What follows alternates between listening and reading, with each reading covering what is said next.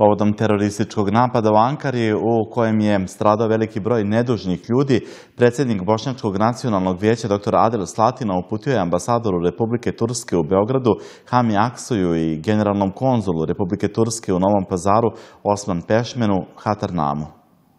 Sa velikim bolom i tugom primili smo vest o tragičnom događaju koji je posljedica terorističkog napada u Ankari, u kojem su izgubljeni ljudski životi i mnogi nevini ljudi ranjeni. U ime Bošnjačkog nacionalnog vijeća i u svoje lično izražavam vam saočeće zbog velikog gubitka života nedužnih ljudi.